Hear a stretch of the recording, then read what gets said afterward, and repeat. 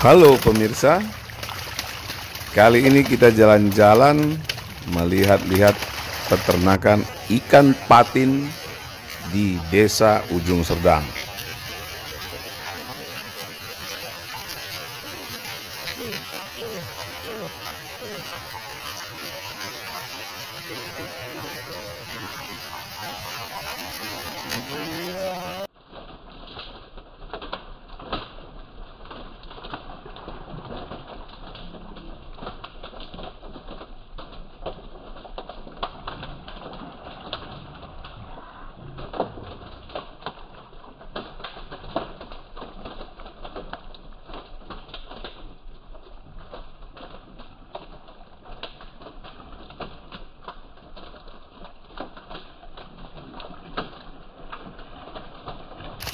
Bukan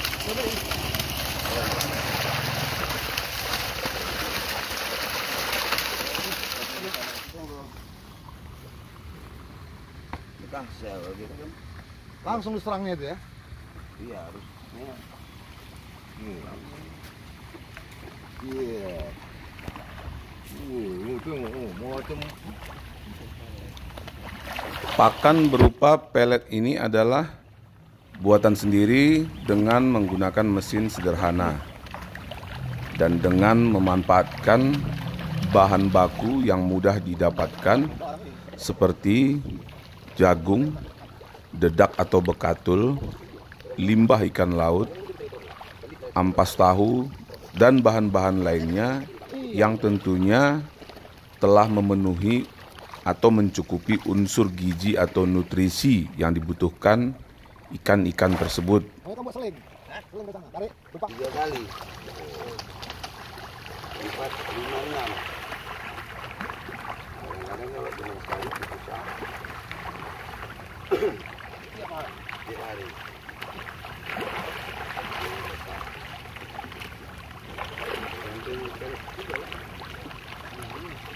Tidak nggak hitung-hitungannya, Bang. Hah? Enggak, lah sana.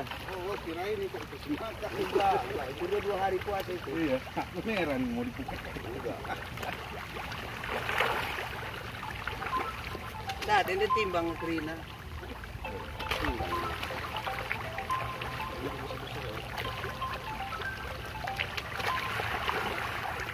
Halo. Ya.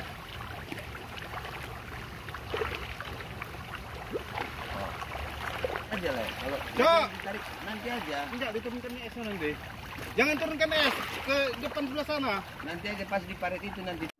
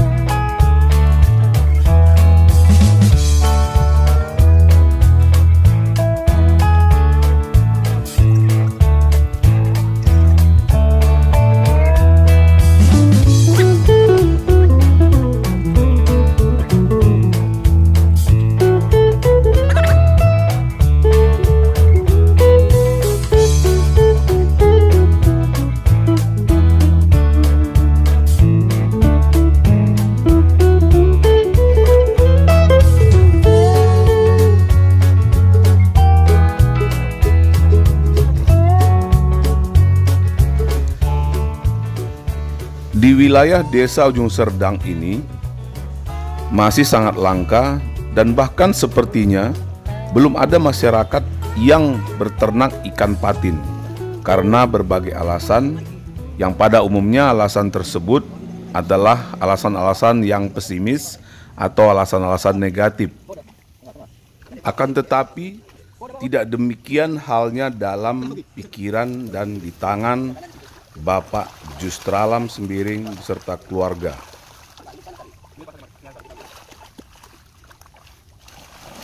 Walau kategori pemula, Bapak Justralam Sembiring sudah membuahkan hasil yang cukup baik. Hanya saja harga jual di masa pandemi ini cukup lemah. Tetapi tetap masih tetap mendapatkan keuntungan yang cukup baik.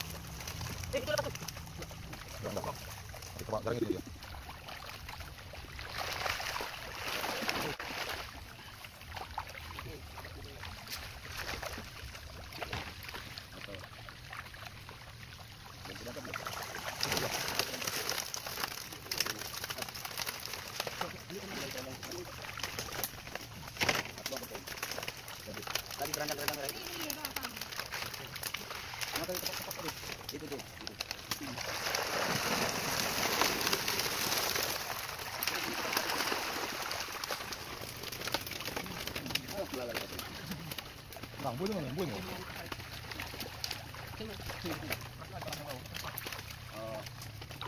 Jangan komentar, sambil pegang tinggi jadi nih.